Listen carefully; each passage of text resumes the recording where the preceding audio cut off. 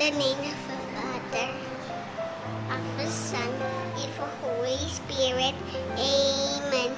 Blessed our Lord, with thy gifts, which are about to receive from your bounty, for Christ our Lord. Amen. The name of the Father, of the Son, and of the Holy Spirit. Amen.